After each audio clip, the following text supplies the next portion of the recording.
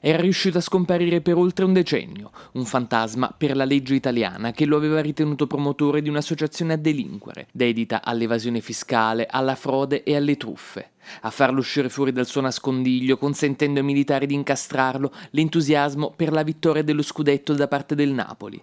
Sembra quasi una barzelletta, ma non è così. Protagonista della vicenda è Vincenzo Laporta, sessantenne di Napoli ritenuto vicino al clan Contini, parte del cartello criminale noto come Alleanza di Secondigliano.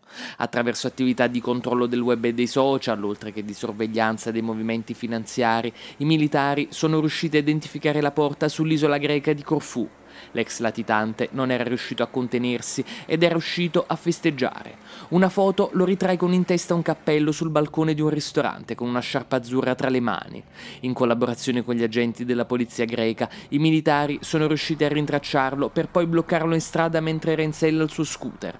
La porta ora dovrà scontare 14 anni e 4 mesi di reclusione. Per il momento il sessantenne resta in un carcere greco in attesa dell'estradizione.